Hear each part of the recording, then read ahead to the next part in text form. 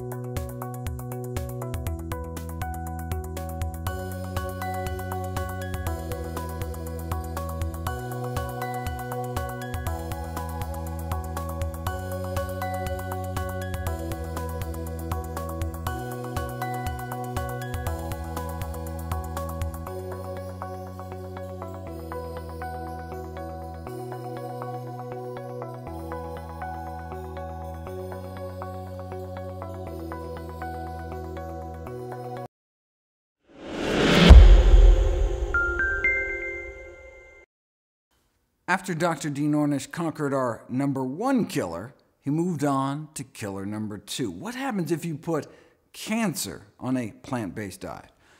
Ornish and colleagues found that the progression of prostate cancer could be reversed with a plant-based diet and other healthy lifestyle behaviors, and no wonder. If you dip the blood of those eating the standard American diet onto cancer cells growing in a petri dish, cancer growth is cut down about 9%. Put people on a plant-based diet for a year, though, and their blood can do this.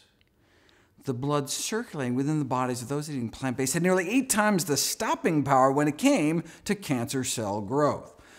Now, this was for prostate cancer, leading cancer killer specific to men. In women, it's breast cancer, number one cancer killer of young women, so researchers wanted to repeat the study with women using breast cancer cells instead, uh, but they didn't want to wait a whole year to get the results. Women are dying now, so they figured, well, let's see what a plant-based diet can do after just two weeks against three different types of human breast cancer. Cancer growth started out powering away at 100% and then dropped after eating a plant-based diet for 14 days.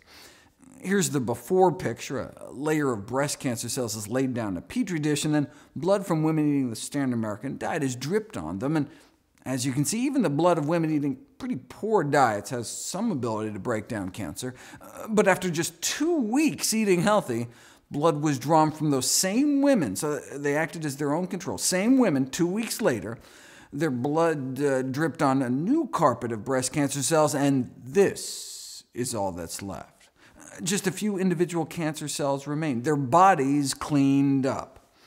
Before and after, just two weeks eating healthy, their bloodstream became that much more hostile to cancer. Slowing down the growth of cancer cells is nice. Getting rid of them It's even better. This is what's called apoptosis, programmed cell death. After eating healthy, their own bodies were able to somehow reprogram the cancer cells, forcing them into early retirement uh, this is what's called TUNEL imaging, measuring DNA fragmentation, cell death, so dying cancer cells show up as little white spots. Uh, so again, this is the before, what the blood of your average woman can do to breast cancer cells. She can knock off a few. You can see one dying cancer cell there in the upper left. Uh, but then after 14 days of healthy plant-based living, her blood can do this. It's like you're an entirely different person inside. The same blood now coursing through these women's bodies gained the power to significantly slow down and stop breast cancer cell growth after just two weeks eating a plant-based diet. What kind of blood do we want in our body? What kind of immune system? Uh, do we want blood that just kind of rolls over when new cancer cells pop up? Or do we want blood circulating to every nook and cranny in our body with the power to slow down and stop it? Now, this dramatic strengthening of cancer defenses was after 14 days of a plant-based diet and exercise. They had these women out walking 30 to 60 minutes a day. Well, if you do two things, how do you know what role the diet played? So researchers decided to put it to the test.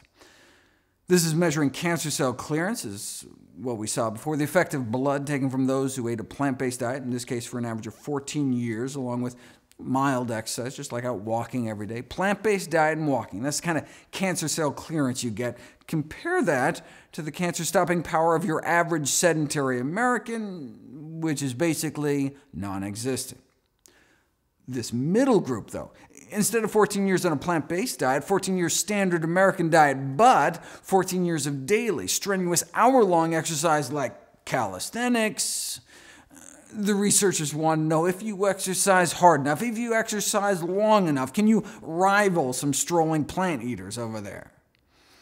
And the answer is exercise helped, no question. But literally 5,000 hours in the gym was no match for a plant-based diet. Same uh, TUNEL imaging as before. Even if you're a couch potato, eating fried potatoes, your body's not totally defenseless. Your bloodstream can kill off a few cancer cells. But exercise for 5,000 hours, you can kill cancer cells left and right, but nothing appears to kick more cancer tush than a plant-based diet. We think it's because of animal proteins, meat, egg white, and dairy proteins, increasing the level of IGF-1 in our bodies, insulin-like growth factor 1, a cancer-promoting growth hormone involved in the acquisition and progression of malignant tumors.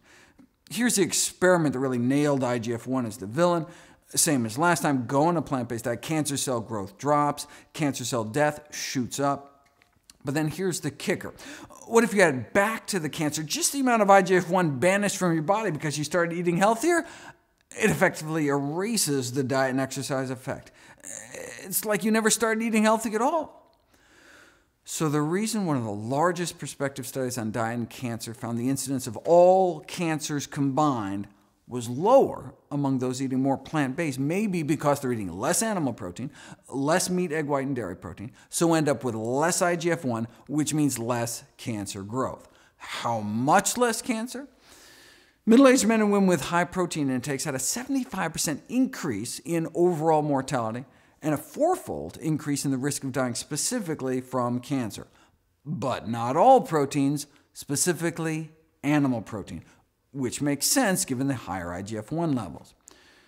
The academic institution sent out a press release with a memorable opening line, that chicken wing you're eating could be as deadly as a cigarette, explaining that eating a diet rich in animal proteins during middle age makes you four times more likely to die from cancer, a mortality risk factor comparable to smoking cigarettes. What was the response to the revelation that diets high in meat, eggs, and dairy could be harmful to health as smoking? Well, one nutrition scientist replied that it was potentially dangerous to compare the effects of smoking with the effects of meat and dairy. Why? Because the smoker might think, why bother quitting smoking if my ham and cheese sandwich is just as bad for me? So better not tell anyone about the whole animal protein thing. That reminds me of a famous Philip Morris cigarette ad that tried to downplay the risk by saying, hey, you think secondhand smoke is bad, increasing the risk of lung cancer 19%. Well, hey, Drinking one or two glasses of milk every day may be three times as bad, 62% higher risk of lung cancer, uh, or doubling your risk frequently cooking with oil, or, or tripling your risk of heart disease by eating non-vegetarian, or multiplying your risk sixfold by eating lots of meat and dairy. So, they conclude, let's keep some perspective here. The risk of lung cancer from secondhand smoke may be well below that of other everyday activities, so breathe deep. It's like saying, eh, don't worry about getting stabbed, because getting shot so much worse. Right? Uh, how about neither? Two risks don't make a right. Of course, you know Philip Morris stopped throwing deer under the bus once they purchased Kraft Foods. Just saying.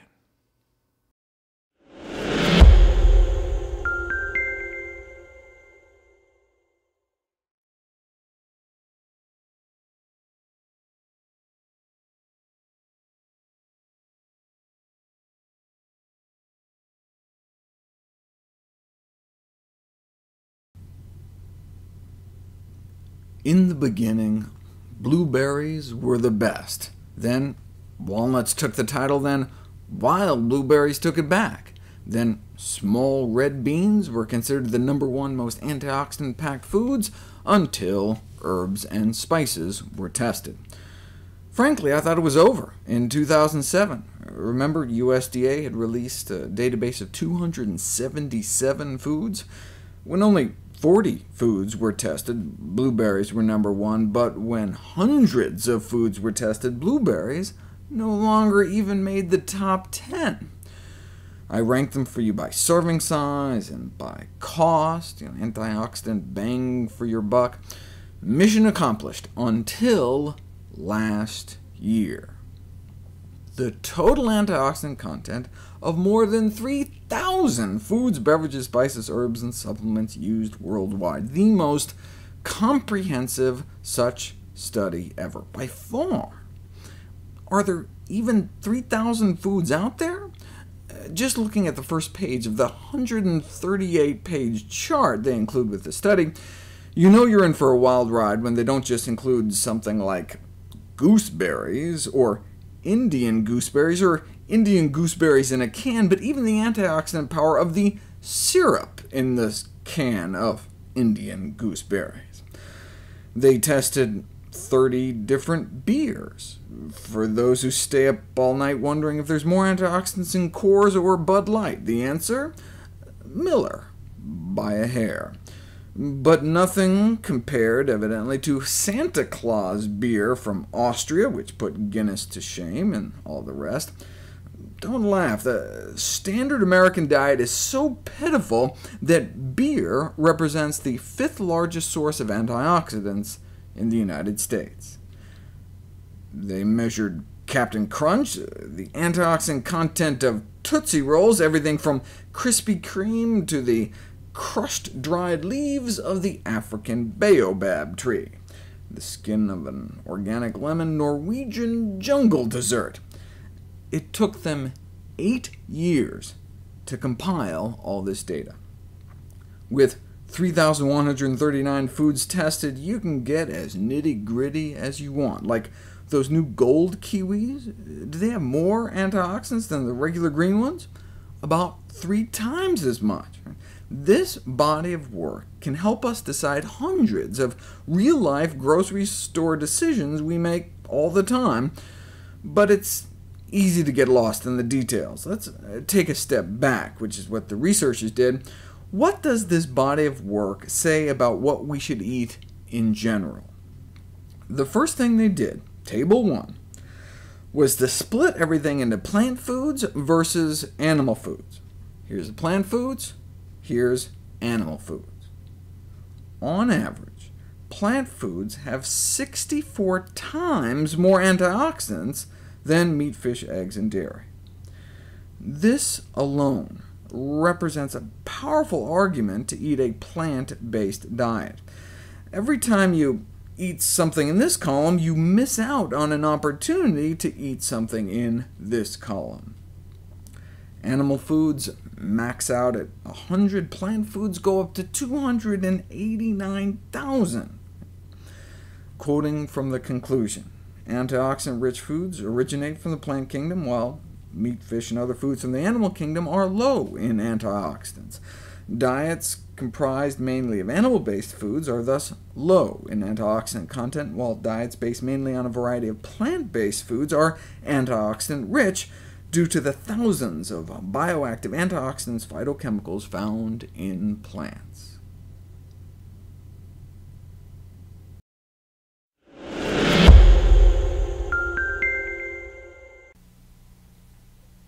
Why is there such a huge disparity in prostate cancer rates?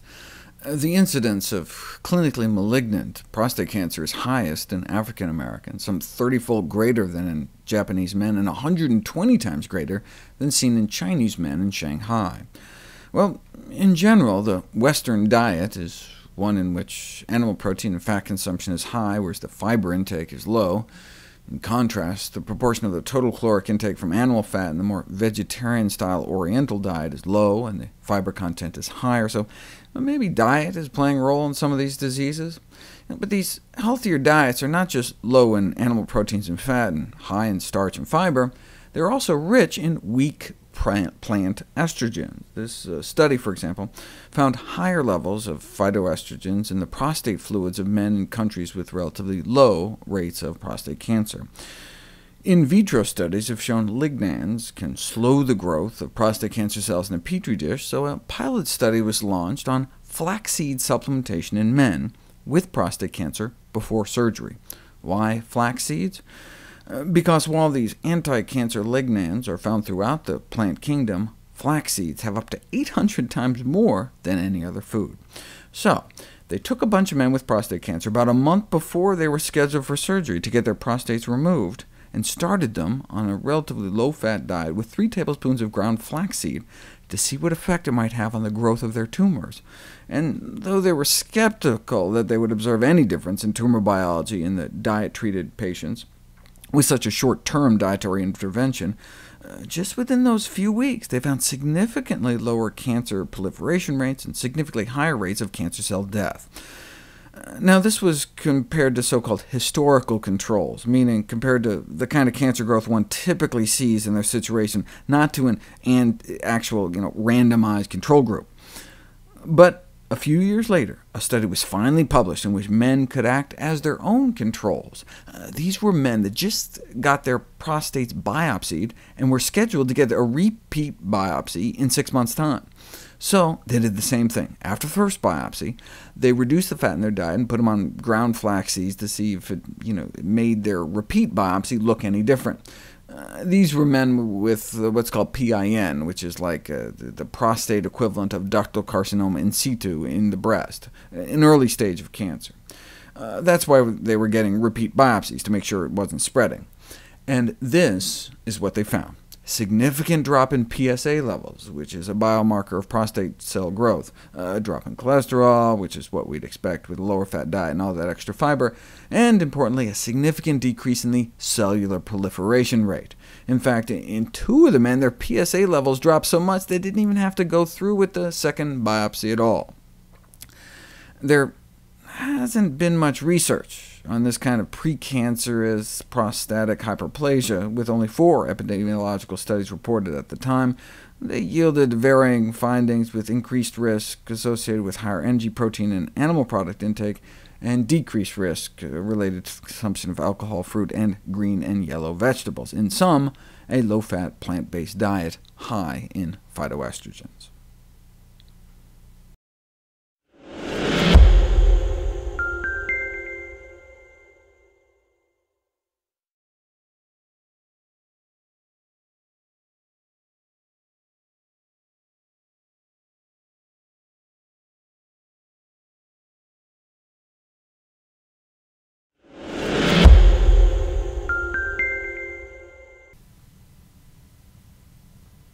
It is estimated that tumors start around the age of 20, yet detection of cancer is normally around the age of 50 or later, thus it takes cancer decades to incubate. Why does it take so long? Recent studies indicate that in any given type of cancer, hundreds of different genes must be modified to change a normal cell into a cancer cell. Although cancers are characterized by the dysregulation of cell signaling pathways at multiple steps, most current anti-cancer therapies involve the modulation of a single target. Chemotherapy has gotten incredibly specific, but the ineffectiveness, uh, lack of safety, high cost of these mono-targeted therapies have led to real disappointment, and drug companies are now trying to develop chemo drugs that take a more multi-targeted approach. As a result, many pharmaceutical companies are increasingly interested in developing multi-targeted therapies. Many Plant-based products, however, accomplish multi-targeting naturally, and in addition are inexpensive and safe compared to drugs. However, because drug companies are not usually able to secure intellectual property rights to plants, the development of plant-based anti-cancer therapies has not been prioritized. They may work. They may work better for all we know. They may be safer. They may actually be safe, period. If you were going to choose one plant-based product to start testing, one might choose curcumin, the pigment in the spice turmeric, the reason curry powder looks yellow. Well, before you start throwing money at research, you might want to start asking some basic questions, like do populations that eat a lot of turmeric have lower cancer rates? The incidence of cancer does appear to be significantly lower in regions where turmeric is heavily consumed. Population-based data indicate that some Extremely common cancers in the Western world are much less prevalent in regions where turmeric is widely consumed in the diet. For example, overall cancer rates are much lower in India than in Western countries. Much lower. U.S. men get 23 times more prostate cancer than men in India. Americans get between 8 and 14 times the rate of melanoma, 10 to 11 times more colorectal cancer, 9 times more endometrial cancer, 7 to 17 times more lung cancer, 7 to 8 times more bladder cancer, 5 times more breast cancer, and 9 to 12 times more kidney cancer. This is not like 5, 10, or 20% more, but times more, so hundreds of percent more breast cancer, thousands of percent more prostate cancer. Differences even greater than some of those found in the China study. Because Indians account for one-sixth of the world's population and have some of the highest spice consumption in the world, epidemiologic studies in this country have great potential for improving our understanding of the relationship between diet and cancer. Of course, it may not be the spices. Several dietary factors may contribute to the low overall rate of cancer in India. Among them, a relatively low intake of meat, a mostly plant-based diet, in addition to the high intake of spices, 40% of Indians are vegetarians, and even the ones that do eat meat don't eat a lot. And it's not only what they don't eat, but what they do. India is one of the largest producers and consumers of fresh fruits and vegetables. And they eat a lot of pulses, meaning legumes, you know, beans, chickpeas, and lentils. And it's not just turmeric. They eat a wide variety of spices, which constitute, by weight, the most antioxidant-packed class of foods in the world. Population studies can't prove a correlation between dietary turmeric and decreased cancer risk, but certainly inspired a bunch of research. So far, curcumin has been tested against a variety of human cancers, including colorectal cancer, pancreatic cancer, breast, prostate, multiple myeloma, lung cancer, and head and neck cancer for both prevention and treatment. We'll look at some of that research next.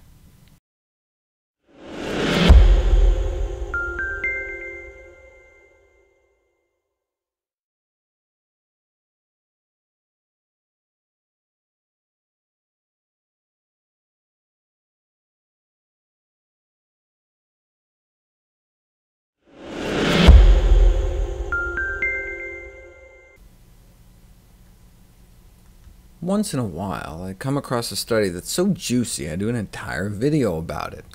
It's like my you know, which fruit fights cancer better video, or the best cooking method one, or that one comparing thousands of foods. Well, this is one such study. A group of researchers at U of F, Gainesville, and Penn State set up an elegant experiment. We've known you know, ounce per ounce that uh, herbs and spices have the, some of the greatest antioxidant activities known, but that's in a test tube. Before we can ask if an herb or spice has health benefits, it's first necessary to determine whether it's bioavailable. This has never been done until now. They could have went the easy route and just measured the change in antioxidant level in one's bloodstream before and after consumption, but the assumption that the appearance of antioxidant activity in the blood is an indicator of bioavailability has a weakness. Maybe more gets absorbed than we think, but doesn't show up on antioxidant tests because it gets bound up to protein or cells, so they attempted to measure physiological changes in the blood. They were interested in whether absorbed compounds would be able to protect white blood cells from an oxidative or inflammatory injury, whether it uh, would protect the strands of our DNA from breaking when confronted by free radicals. They also wondered if the consumption of herbs and spices might alter cellular inflammatory responses in the presence of a physiologically relevant inflammatory insult. Uh, what does this all mean? Well, what they did was take a bunch of people and had each of them eat different types of spices for a week. There's so many really unique things about this study, but one was that the quantity that study subjects consumed was based on the usual levels of consumption in actual food. Like, the oregano group was given a half teaspoon a day, uh, the kinds of practical quantities people might actually eat once in a while.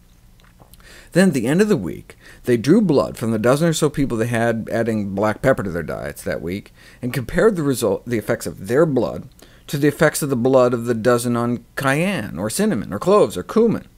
They had about 10 different groups of people eating about 10 different spices. Then they dripped their plasma, the liquid fraction of their blood, onto human white blood cells in a petri dish that had been exposed to an inflammatory insult. Uh, they wanted to pick something really inflammatory, so they chose oxidized cholesterol, which is like what you'd get in your bloodstream after eating something like fried chicken. So they jabbed the white blood cells with oxidized cholesterol, and then measured how much TNF they produced in response. Tumor necrosis factor is a powerful inflammatory cytokine, infamous for the role it plays in autoimmune attacks like inflammatory bowel disease, compared to the blood of those who ate no spices for a week, was the blood of those eating black pepper able to significantly dampen the inflammatory response? No. What about any of these other spices? Cloves, ginger, rosemary, and turmeric were able to significantly stifle the inflammatory response. And remember, remember, they weren't uh, dripping the spices themselves on these human white blood cells, but the blood of those who ate the spices. And so it represents what might happen when cells in our body are exposed to the levels of spices that circulate in our bloodstream after normal daily consumption. Not you know, megadoses in some pill, just the amount that you know, makes our spaghetti sauce taste good, or our pumpkin pie, or curry sauce. There are drugs that can do the same thing. Uh, tumor necrosis factors are such major mediators of inflammation and inflammation-related diseases that there are these TNF-blocking drugs on the market for the treatment of inflammatory diseases like osteoarthritis, inflammatory bowel disease, psoriasis, ankylosing spondylitis, uh, which rake in, collectively, more than $20 billion a year. Uh, because drug companies charge people 15,000 to $20,000 a year for the drug. At that price, the side effects better be hugs and rainbows, but no, these drugs carry a black label warning because they can cause things like mm, cancer, heart failure. If only there were a cheaper, safer solution curcumin, the yellow pigment in turmeric, uh, a spice that's a tad cheaper and safer. But does it work outside of a test tube? There's evidence that it may help in all the diseases for which TNF blockers are currently being used. And so with healthcare costs and safety being such major issues, this golden spice turmeric may help provide the solution.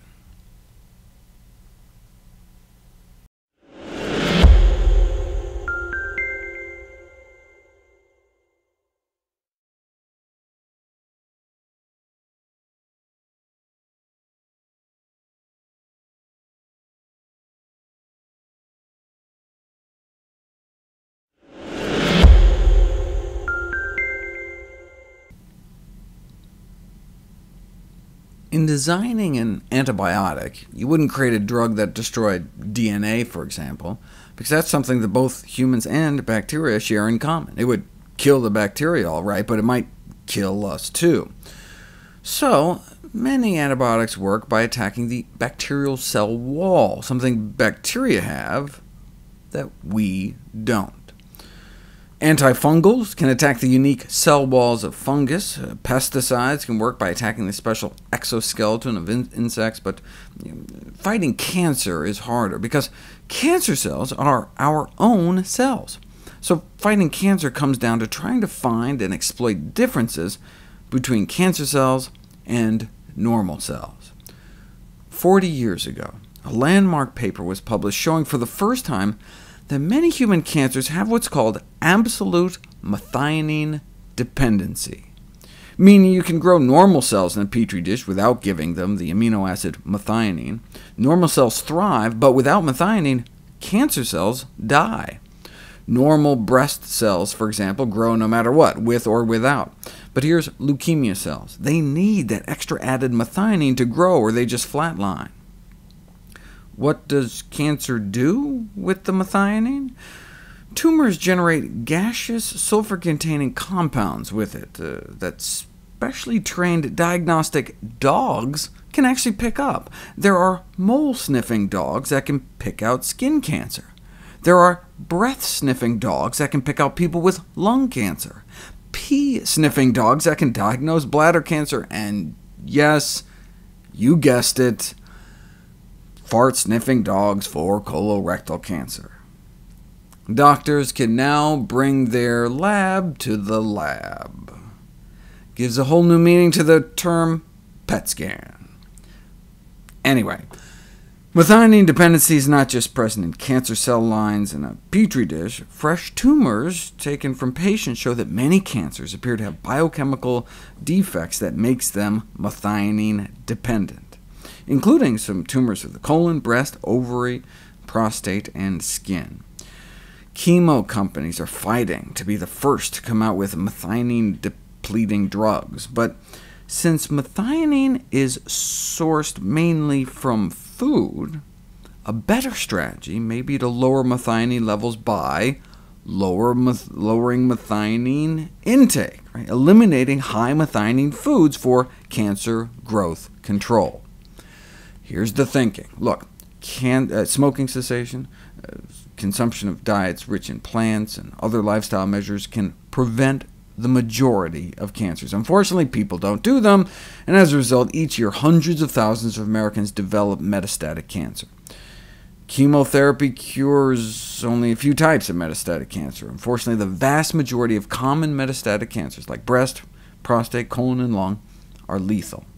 We therefore desperately need novel treatment strategies for metastatic cancer, and dietary methionine restriction may be one such strategy. So, where is methionine found? Particularly chicken and fish. Milk, red meat, and eggs has less, but if you really want to stick with lower methionine foods, fruits, nuts, veggies, grains, and beans. In other words, methionine restriction may be achieved using a predominantly vegan diet. So why isn't every oncologist doing this?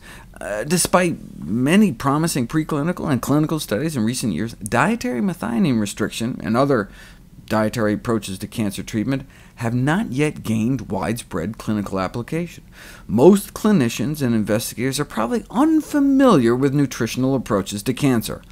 Ah, uh, that's an understatement. Many others may consider amino acid restriction as an old idea, since it's been examined for several decades. However, many good ideas remain latent for decades, if not centuries, before they prove valuable in the clinic. With the proper development, dietary methionine restriction, either alone or in combination with other treatments, may prove to have a major impact on patients with cancer.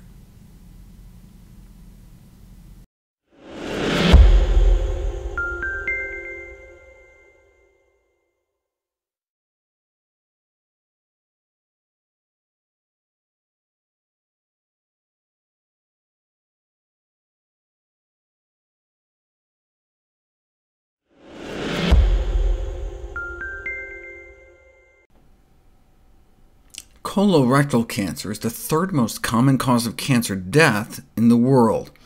Thankfully, the good bacteria in our gut take the fiber we eat and make short-chain fatty acids like butyrate that protect us from cancer.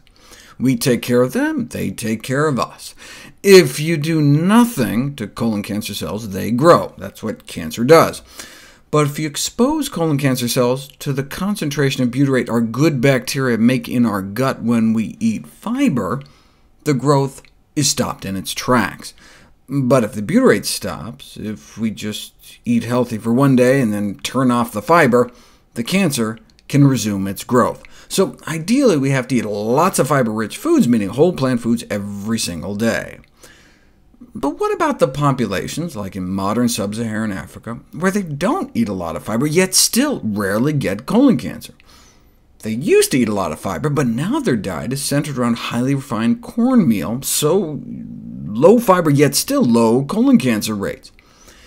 This was explained by the fact that while they may be lacking protective factors like fiber, they're also lacking cancer-promoting factors like animal protein and fat. But are they really lacking protective factors? If you measure the pH of their stools, the black populations in South Africa have more acidic stools. Lower pH means more acidic, uh, despite comparable fiber intakes. Uh, as we learned before, that's a good thing. We want alkaline P, acidic poo. And that may account for the lower cancer rates. But wait a second, low colon pH is caused by short-chain fatty acids, which are produced by our good bacteria when they eat fiber and they weren't eating any more fiber, suggesting there's something else in addition to fiber in their diets that was feeding their flora. And indeed, despite low fiber intake, the bacteria in their colon were still churning out short-chain fatty acids like crazy. But if their bacteria wasn't eating fiber, what were they eating? resistant starch. The method of cooking and eating the cornmeal as a porridge resulted in an increase in something called resistant starch, which acts in the same way as fiber in the colon, uh, as a prebiotic, a food for our good bacteria to produce those same cancer-preventing short-chain fatty acids. Resistant starch is any starch that resists digestion, is not digested and absorbed in the upper digestive tract, or small intestine, and so passes down into the large bowel, or colon, to feed our good bacteria.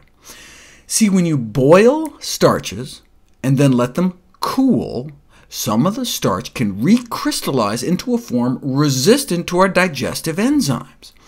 So we can get resistant starch eating cooled starches, pasta salad, potato salad, or cold cornmeal porridge. So this may help explain the striking differences in colon cancer rates. Thus, they were feeding their good bacteria after all, but just with lots of starch rather than fiber. Consequently, a high-carbohydrate diet may act in the same way as a high-fiber diet. Because a small fraction of the carbs make it down into our colon, the more carbs we eat, the more butyrate our gut bacteria can produce. And indeed, countries that eat the most starch have some of the lowest colon cancer rates. So fiber may not be the only protective factor. Now, only about 5% of starch may reach the colon, compared to 100% of the fiber. But we eat up to 10 times more starch than fiber, so it can potentially play a significant role feeding our flora. So we're talking about even non-resistant starch. So the protection Africans enjoy from cancer may be twofold, a diet high in resistant starch and low in animal products. Just eating more resistant starch isn't enough. See, meat contains or contributes to the production of presumed carcinogens such as N-nitroso compounds. If you split people up into three groups, and you put one group on a low-meat diet, second group on a high-meat diet, which includes uh, beef, pork, poultry, and the last group on the same high-meat diet, but with lots of resistant starch added, the high-meat groups had three times more of these presumptive carcinogens and twice the ammonia in their stool than the low-meat group, and the addition of the resistant starch did not seem to help. This confirms that exposure to these toxic compounds is increased with meat intake, and 90% was created in our bowel. So it doesn't matter if we get nitrite-free, uncured fresh meat, these nitrosamines are created from the meat as it sits in our colon.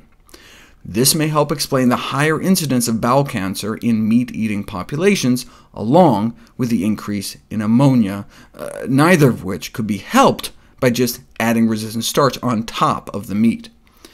So the deleterious effects of animal products on colonic metabolism override the potentially beneficial effects of other protective nutrients. So we should do a combination of both more whole plant foods and less meat, along with exercise, not only for our colon, but also for general health.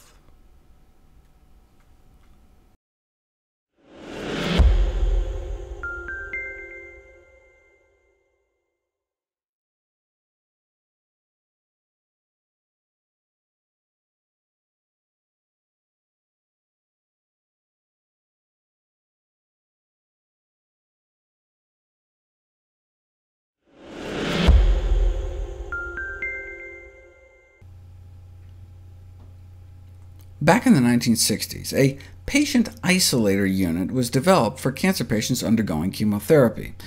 Because our immune system cells were often caught in the friendly fire, up to 50% of cancer patients died of infections before they even completed the chemo, because their immune systems had become so compromised. So they developed this bubble boy-like contraption where they shave you, uh, dip you in disinfectant, rinse you off with alcohol, antibiotic ointment in every orifice, and a rotating regimen of a dozen of the most powerful antibiotics we had. Procedures were performed through plastic sleeves, and everything in and out had to be sterilized and passed through airlocks, and so no fresh fruits and vegetables. People went crazy, cooped up in these things, with 38% of people starting to hallucinate. Fifteen years later, the results were in. It simply didn't work. People were dying at the same rate, so the whole thing was scrapped, except the diet. The airlocks and alcohol baths were banned, but they continued to make sure no one got to eat a salad. Uh, neutrophils are a front line of defense white blood cells, and so when we're immunocompromised, when we don't have enough neutrophils, we're called neutropenic, so uh, patients are put on a neutropenic diet, no fresh fruits and vegetables. The only thing is, is that there's a striking lack of evidence that such a diet actually helps. Ironically, the neutropenic diet is the one component that's still practiced, yet has the least evidence supporting its use. The rationale was like, look, there's bacteria on salad, bacteria cause infections, and so look, immunocompromised patients are at increased risk of infections, so no salad for you. And frankly, we're glad there's no studies on it, because it could be way too risky to give a cancer patient a salad. So its continued use seemed to be based on this kind of better safe than sorry philosophy. OK, but the problem is, look, kids diagnosed with cancer come in already low in dietary antioxidants. The last thing you'd think you'd want to say is no fresh fruit. So in addition to the lack of clinical evidence for this diet, there may be some drawbacks. Maybe restriction of fruits and vegetables may increase the risk of infection, compromise the nutritional status. So, are neutropenic diets for cancer patients reasonable prudence or clinical superstition? A resurgence of research started during the 90s, when the need to support clinical practice with, wait for it, evidence became increasingly important. What a concept! In other words, you don't know until you put it to the test. Three randomized controlled trials were published, and none supported the neutropenic diet. This was the biggest, an all-cooked diet versus one that allowed raw fruits and vegetables, and there was no difference in infection and death rates. As a, result of the study, the principal investigator at the MD Anderson Cancer Center described how their practice has changed, and now everyone is allowed to eat their vegetables, a far cry from the please don't eat the salads 31 years earlier. Today, neither the FDA nor the CDC support the neutropenic diet, nor does the American Cancer Society. The real danger are the pathogenic food poisoning bacteria, Campylobacter, Salmonella, E. coli, so you still have to keep people away from risky foods like undercooked eggs, meat, dairy, and sprouts. Uh, at this point, there really shouldn't even be a debate, though. Uh, yet many institutions continue to tell cancer patients they shouldn't eat fresh fruits and veggies. According to the latest survey, more than half of pediatric cancer doctors continue to prescribe these diets, though it's quite variable even among those at the same institution. Why are doctors still reluctant to move away from the neutropenic diet? Well, are several reasons why doctors may be hesitant to incorporate evidence-based medicine into their practice. They have limited time to review the literature. They'd like to dig deep into studies, but they simply don't have the time to look at the evidence. That's what nutritionfacts.org is for. Bone marrow transplants are the final frontier. Sometimes it's our immune system itself that is cancerous, leukemia, lymphoma and so the immune system is wiped out on purpose to rebuild from scratch, and so inherent in the procedure is a profound immunodeficiency, for which a neutropenic diet is often recommended, but had never been tested until now. Not only did it not work, a strict neutropenic diet was actually associated with an increased risk for infection. Maybe because you didn't have uh, all the good bugs from fruits and veggies crowding out the bad guys in the gut? Not only was the neutropenic diet not beneficial, but there was a suggestion that it could be potentially harmful. It would not be the first time that an intervention strategy made good theoretical sense, but ultimately was ineffective when put to the test.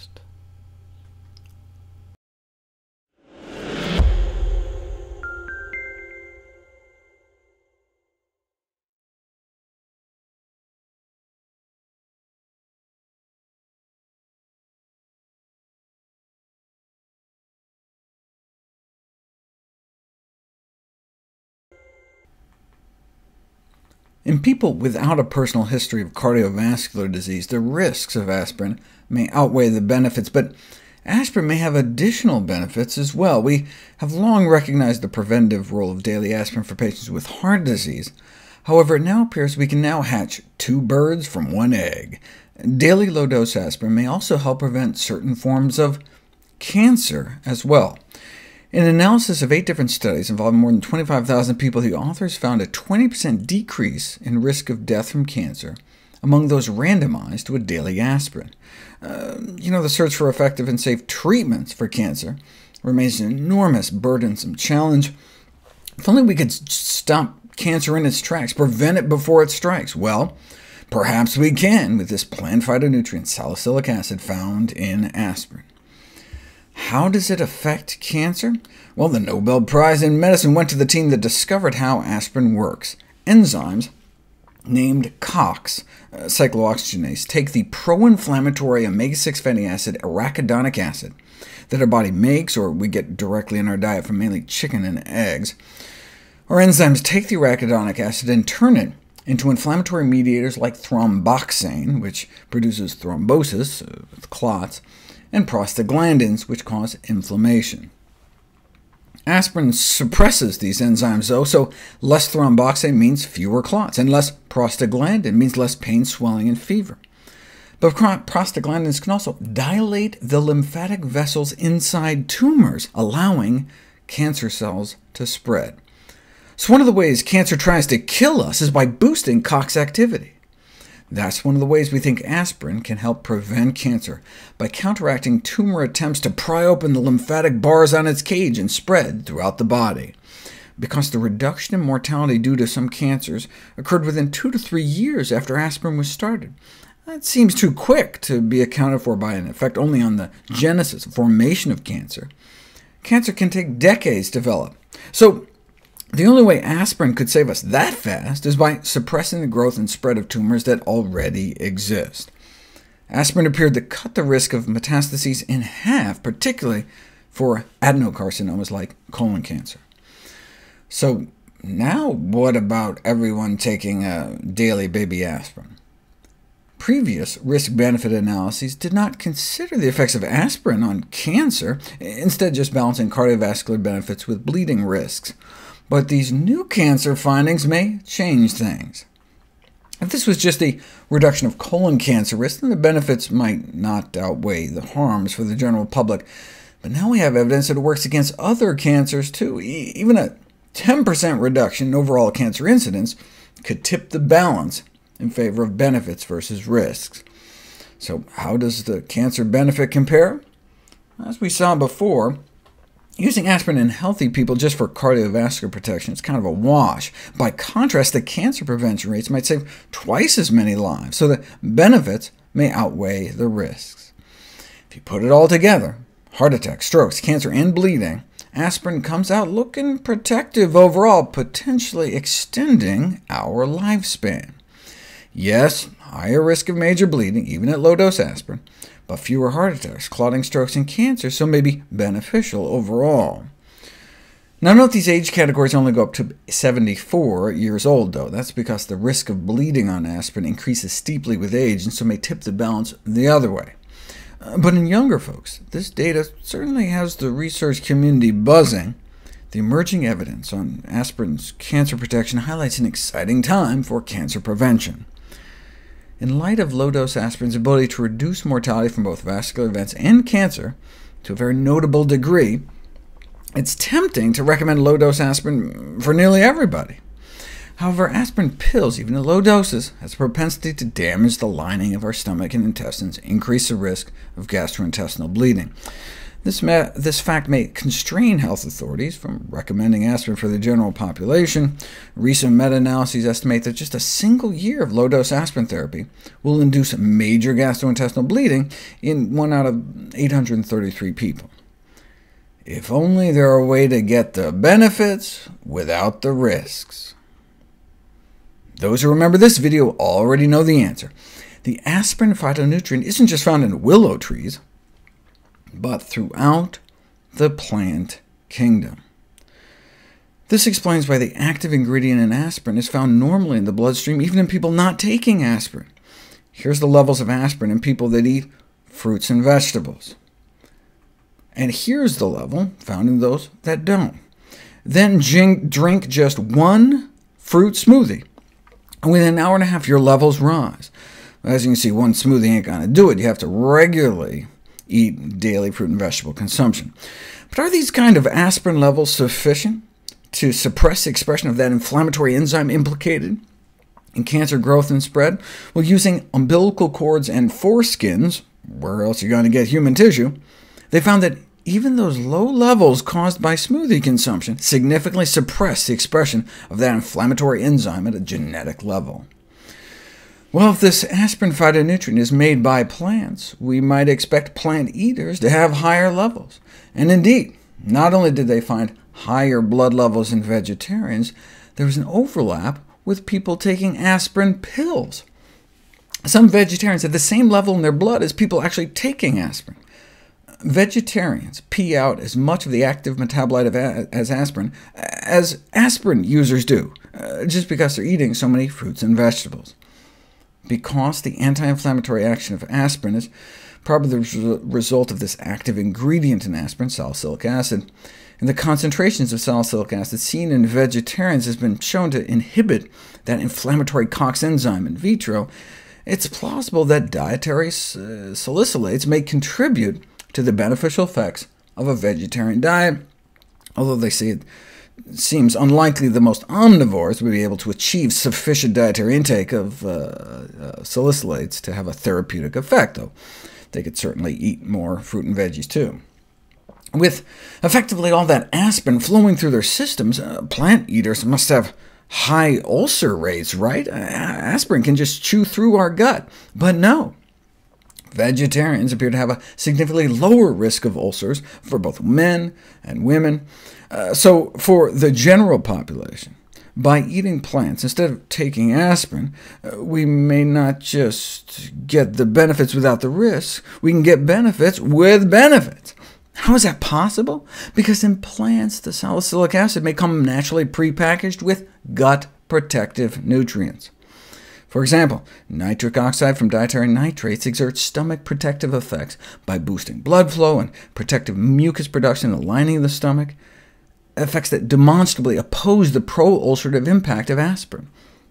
Dark green leafy vegetables are among the richest dietary sources of nitrate, but of course the researchers go on to say, uh, since it may be unrealistic to expect people to eat ample servings of greens every day, we should just give people pills with their pills, right? nitrate pills with their aspirin pills. But why not just eat our greens? People who've had a heart attack should follow their physician's advice, which probably includes taking aspirin every day. But what about everyone else? I think everyone should take aspirin, but in produce, not pill form. in the world not only have prevented cancer from ever happening, can reverse can reverse any cancers there are. Otto Warburg, two-time Nobel Prize winner, this wasn't some dumb guy. The cause of cancer is no longer a mystery. We know it occurs whenever any cell is denied 60% of its oxygen requirements. When the cell doesn't have oxygen, it begins to turn cancerous. The cells have to have oxygen to survive, because what does a cell use? What does a normal cell use to survive? Oxygen. And what does a cancer cell use to survive? Sugar. It has to have oxygen to survive. And that's what they, they discovered. Being oxygen deprived is one of the major causes of all your illnesses, oxygen deprivation in your body. One of, the, one, of, one of cancer's primary characteristics is a lack of oxygen in the cell and blood. Cells do not function the way that we were intended to function with depleted oxygen supplies. Your cells will not do what they're supposed to do if they don't have oxygen. They have to have oxygen in order to do what they need to do, to replicate normally. So for next, for six months from now, you good, for you to have good heart cells, for you to have good pancreatic cells, for you to have good lung cells and breast cells and all the rest of the cells, your cell has to have oxygen. So next year, it's going to replicate itself and keep replicating itself normally again. Causes of oxygen depletion. Number one, toxicity and acidity. Toxicity. And so toxicity and acidity cause a residue which coats the membrane of the cell. Coats the membrane. So remember, the, the membrane on a cell, a membrane on a cell, as long as it has what it needs, will let oxygen, will let oxygen come into it. It'll let oxygen in. And so what happens is, when you're toxic and acidic, what happens is you start creating around the cell, right along the cell, you start creating a coating on that cell. Your cells become coated. and they become coated and they get a sticky residue and a residue there. And so now, what can't get into this cell? Oxygen can't get into that cell. So now the cell starts becoming starts becoming cancerous. And as the cell becomes cancerous, it starts forming its eight receptor sites for what? Sugar. Sugar. And sugar gets in. The cancer cell, you're going to see well, how sugar gets in in a second, how powerful this is. But toxicity causes a residue which coats the membrane of the cell, present, prevents it from breathing. What we talked about, in, auto-intoxication happens. It gets suffocated in there. It can't breathe properly, suffocates the cell, becomes cancerous. Smoking. So everybody wants to know, well, why does smoking cause problems? You know, is it the nicotine, whatever it is? No, the problem really is that when you bring smoke into your body, cigarettes contain carbon monoxide, whatever you're smoking, whether it's cigarettes or not. If you're smoking something, it has carbon monoxide in it, it competes with oxygen. Carbon monoxide doesn't like oxygen. Those of you know, what, what would happen, is carbon monoxide poisoning good or bad? It's bad. It kills you because it takes all the oxygen out of your body. You die. There's carbon monoxide in this room long enough, all the oxygen comes out of our body. We die. Every time you smoke, what are you doing? You're suffocating yourself. You're suffocating your cells. You're killing your cells. If you are a smoker, quit immediately. It's a dangerous, dangerous poison, and you will get some form of cancer somewhere in your body somewhere at one, one time or another. But look at this, chlorine. Whew. I was, I've been big on this one lately. Chlorine takes oxygen right out of your cells. Cells can't survive.